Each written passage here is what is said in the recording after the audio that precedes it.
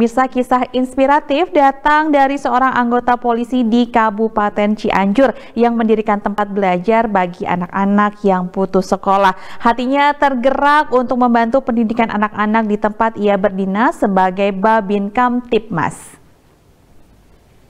Aibda Sopian Sahuri, seorang anggota Babin Kamtibmas Polsek Cugenang, Polres Cianjur, selepas bertugas ia sempatkan untuk mengajar anak-anak didiknya di tempat yang ia bangun di Desa Sarampad, Kecamatan Cugenang, Kabupaten Cianjur untuk kegiatan belajar mengajar.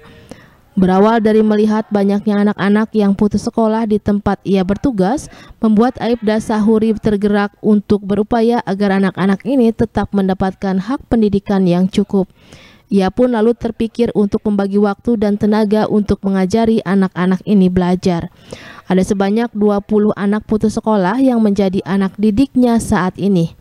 Kebanyakan dari mereka harus putus sekolah lantaran keterbatasan ekonomi keluarga, serta beberapa orang merupakan anak yatim piatu. Berangkat dari tanah seluas 100 meter persegi yang dihibahkan keluarganya, ia pun sisihkan uang gajinya untuk sedikit demi sedikit membangun tempat ini agar anak didiknya bisa nyaman untuk belajar. Karena melihat anak-anak ini yang ada di depan kita ini, mereka itu putus sekolah. Pada mereka usia belajar, antara usia 12 tahun sampai usia 18 tahun mereka tidak sekolah. Nah, karena itu saya terpanggil eh, apa untuk menyekolahkan mereka. Dan sini saya tidak dipungut biaya gratis, bahkan saya sampai jemput ke rumahnya. Jemput ke rumahnya, saya ngajak mereka sekolah supaya bersekolah di sini.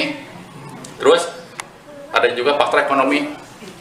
Ya, faktor ekonomi karena mungkin ketidakmampuan orang tuanya untuk menyekolahkan.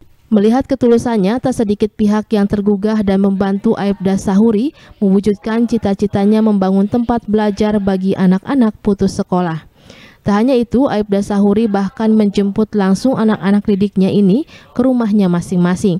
Salah satunya Mila Nuraini, seorang siswi yang hanya bisa bersekolah sampai tingkat menengah pertama saja.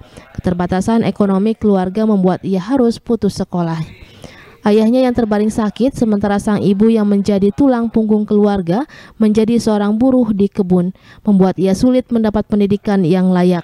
Namun Mila merasa bersyukur karena kini ada sosok polisi yang tulus membantunya untuk tetap bisa bersekolah. Ya seneng banget gitu. Ya. Emang sebelumnya?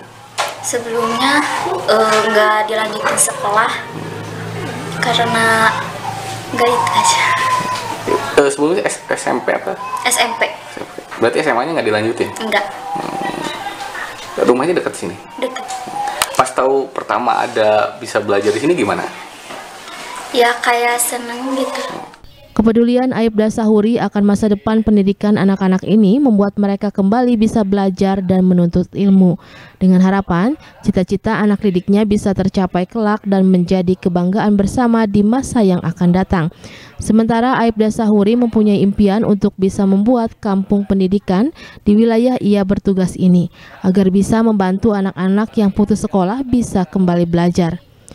Kisah inspiratif Aibda Sahuri ini merupakan satu dari banyak polisi lainnya yang tulus dalam melayani dan mengayomi masyarakat, terlebih masyarakat kecil yang membutuhkan. Heri Setiawan, Bandung TV